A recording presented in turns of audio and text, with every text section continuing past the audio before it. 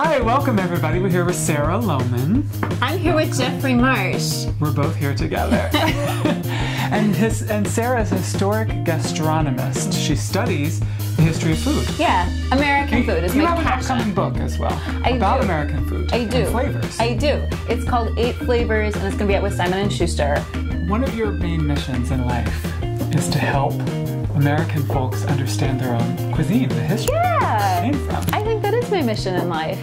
and to feel a sense of pride. I would hope. Oh, I think so too. I think Americans lack a sense of pride in their own cuisine. I think that, okay, if I were to ask you, Mm-hmm. name the two most American foods possible. Hot dogs, pizza, Uh-huh. hamburgers. Can I name three? Hamburgers. Yeah, you can name three. And I think when people say that, it's it's almost with like well, hot dogs and hamburgers. I think we've internalized almost this shame in the fact that we don't have American cuisine. We don't Yes. have this pride and this heritage that other countries do. And I don't think that's true. So this is the Moosewood Cookbook, which is a classic.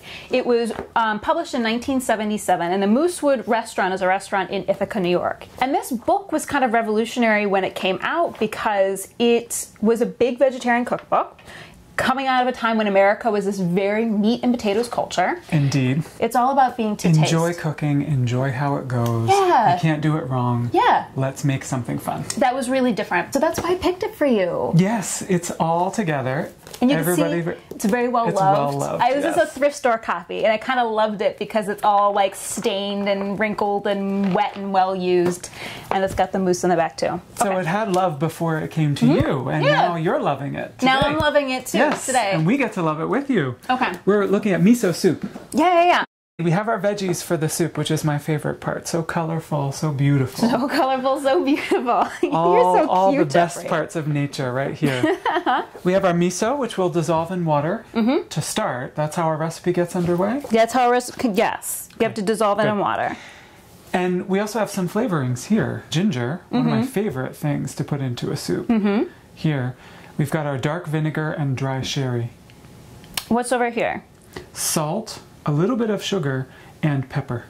And this is green peppers, Huh? and then these are scallions. And our tofu. and our tofu. How about I dissolve the miso and you start sauteing the Beautiful vegetables. vegetables. Okay. And but Jeffrey, I brought you an apron because I thought I picked saw this one up for you because I there. thought you I would was like wondering If I would get the polka dots. Yeah, you'll get this one, and I'm gonna get this more subtle black and gold number to go with my autumnal outfit. No, it's beautiful. You're both, beautiful, Both are beautiful.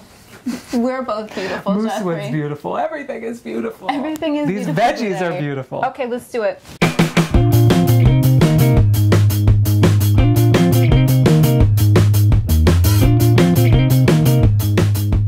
Vegetables are so colorful. They're so beautiful. I'm glad that they bring Artistic joy. statement. Miso's been popular for thousands of years in Buddhist culture. Yes. And I also picked it because you're Buddhist. That's part of the reason I picked this recipe too. Indeed, and there are different kinds of miso. There's the dark, and there's light, and there's uh, barley, and there's soybean. And they've each got these different kind of very rich things flavors. add. Yeah. It's like an instant broth. It's like a bouillon cube in a way. Yes. Yeah, but without meat, meat free. Now that the miso's in, you can put the sherry in. I don't keep cooking sherry around. Who does? It's not the 70s anymore. I bought it for this recipe. Yeah, I know. but it's not like I don't think anyone's had cooking sherry in their kitchen since the 70s, right? And most people's moms still have a dusty bottle A like bit in, the, back, of the cabinet. since the 70s. But we got it. We're gonna put it in. Okay. Do it. So in it goes. Boop. And uh, we didn't saute these. I wonder why. We'll find out too. Maybe it won't make a difference. Okay, stir it up a little bit. Why did you pick this particular recipe?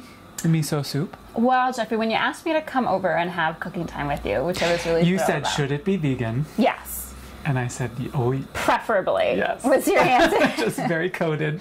because I yes, assume be. because I am not vegan, which Yeah. is one of the things that when our friendship was blossoming, Mm-hmm. I really appreciated about you that you didn't mind that I also will like go to a pig roast on my weekends. too. Sure, I don't mind Right. at all. Okay, it's been ten minutes. Check on that Jeffrey. What do we got? Oh, it looks good. It smells beautiful. Okay, so let's put the tofu in so that it cooks for like just a, just a bloop. Mm, it's beautiful. Beautiful. I would like it to be a little bit richer. Yes, or saltier. Mmm. You know what? I think, I think it, you could add more miso, probably. I think you'd add more miso, maybe darker miso. Maybe it just needs a little bit more soy sauce. Mm-hmm.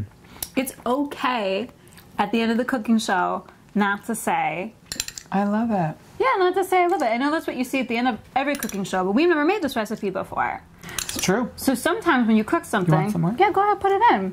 It not, doesn't turn out perfect, and that's because everything you Life's cook an experiment. should be to, to your own taste. And my taste isn't your taste. Isn't the Moosewood Cookbook's taste? Isn't the Moosewood Cookbook's taste. So it's okay to adjust recipes to be how you like them. Mm, Jeffrey, I love cooking with you. Let's do it more often. Okay. Okay. deal. Thanks for joining us today. We'll see you next time when we cook together.